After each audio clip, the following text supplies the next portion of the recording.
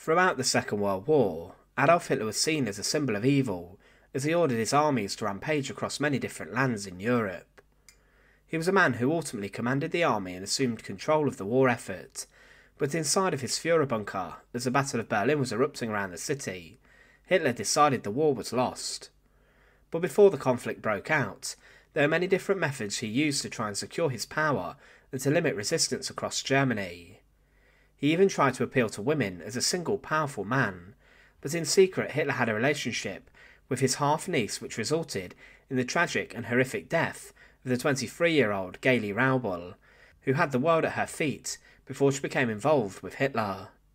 She was found with a bullet in her chest, and next to her was Hitler's gun. There has been much speculation about whether she was killed, or whether it was even Hitler who fired the deadly shot, but what is for certain is that she lived a tough and tragic life, controlled by the dictator of Nazi Germany. Join us today as we look at the horrific torture of Hitler's niece, and remember as always to support our channel, please make sure to subscribe. Geli Raubal was the daughter of Leo Raubal and Angela Raubal, and her mother was Hitler's half-sister.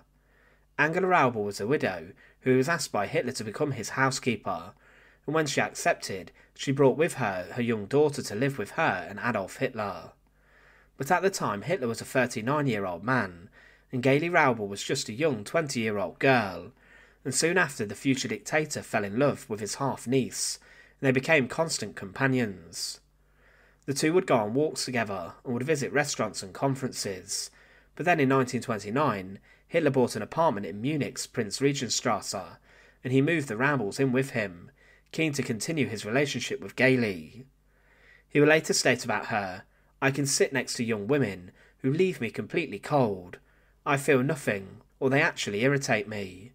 But a girl, like Geli Raubal, with them I become more cheerful and bright, and if I have listened for an hour to their perhaps silly chatter, or I have only to sit next to them, then I am free of all weariness and listlessness.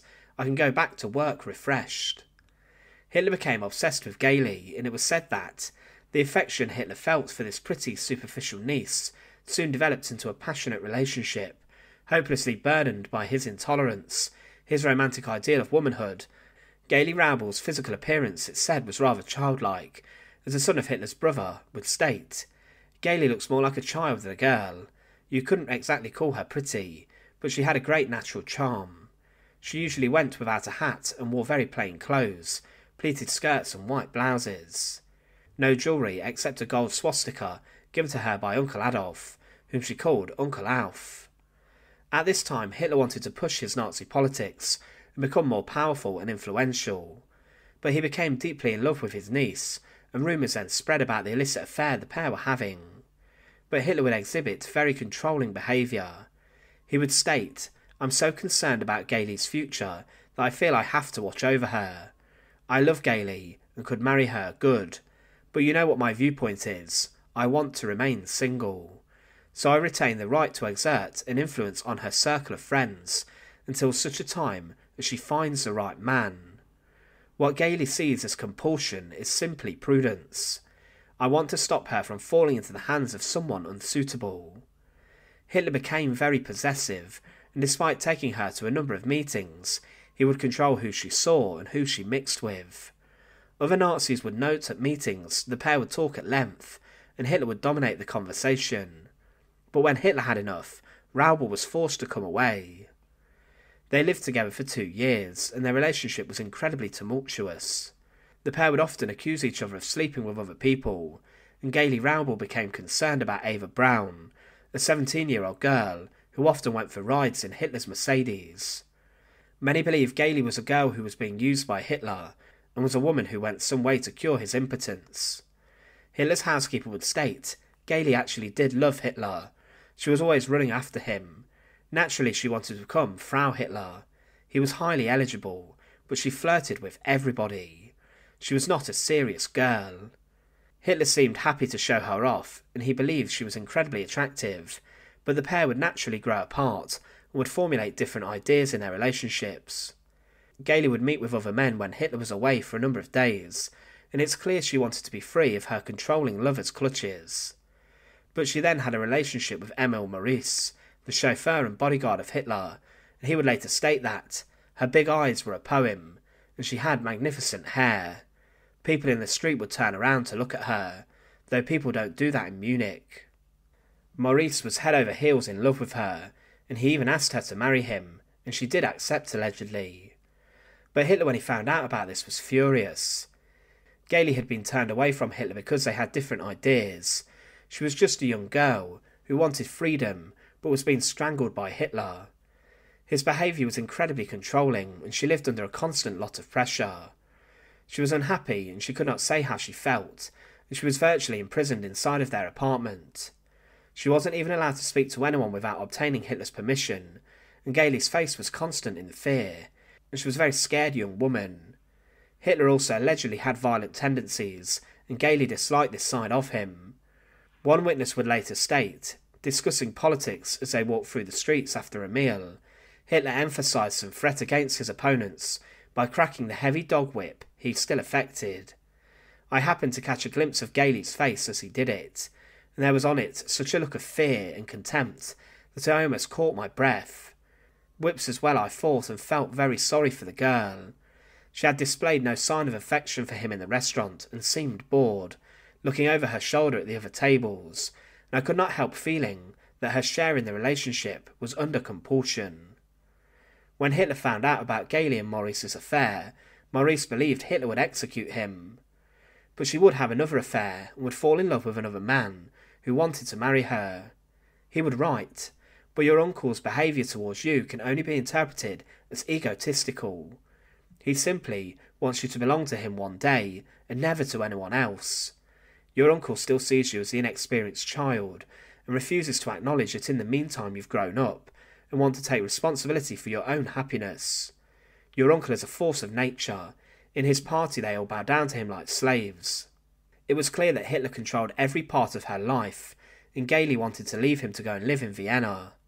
Hitler refused to support this, and it was rumoured she wanted to go and live with the music teacher she fell in love with, who was Jewish. It's believed she may have been seen by the Nazis as dangerous, as she had slept with Hitler, and the Nazis believed that Geli Raubal could leave and then tell the newspapers and press all about his perverse desires, and it's believed that Hitler may have been forced to solve the problem with Geli once and for all. She had knowledge of the intricate lives of many high profile Nazis, and with this she was seen as a danger by many. But on the morning of Saturday, the 19th of September 1931, Geli Raubal's body was found on the floor of her room inside of their flat. The housekeeper's husband entered the room, and he said that, as the thing seemed to me rather suspicious, at ten o'clock I forced the double door open with a screwdriver.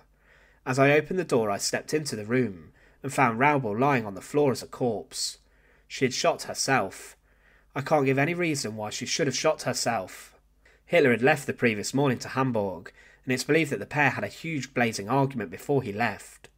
It's assumed that this was about Geli wanting to leave him, but she was forbidden to do so, but following her death, many high ranking Nazis were summoned together to sort out the mess about her death. A conference took place as to what to do, and it's believed they would speak out about her death and how this could have been interpreted, and many, for example, believed that Hitler had shot her. A newspaper the following day reported that a 23 year old student fired a pistol aimed at her heart in the room of her flat. The unfortunate young woman was the daughter of Hitler's half sister, and she and her uncle lived on the same floor of the flats. On Friday afternoon, the owners of the flat heard a cry. She was found lying face down on the floor, dead. Near to the sofa was a small caliber Walther pistol. A newspaper would also report that, on Friday, there was once again a violent quarrel between Herr Hitler and his niece. What was the reason? The vivacious 23 year old music student Geli wanted to go to Vienna. She wanted to become engaged. Hitler was strongly opposed to this. The two of them had recurrent disagreements about this. After a violent scene, Hitler left his flat on the second floor of 16th Prince Prinzregenplatz. The dead woman's nose was broken, and there were other serious injuries on the body. There were differing reports that her nose had been broken, and the police report said that she had been bleeding from a wound near her heart. She was found lying face down, with her nose against the floor, and one arm was stretched out towards the pistol. Hitler's Walther pistol. The bullet had missed her heart but pierced her lung, and Hitler's political enemies believed he had her killed and was involved in her death. There were stories of violent rows and beatings that alleged it was Hitler who ordered her execution and killing. But what is certain is that Geli Raubal's life was prematurely cut short inside of Hitler's apartment. Her relationship with Hitler made her miserable, and she believed the controlling nature of his behaviour was torture, and she could not even go to the shops without Hitler's consent. She lived under constant pressure from Hitler, and his behaviour towards her was truly terrible. Thanks for watching. To support our channel, please make sure to subscribe, and once again, thank you so much for watching.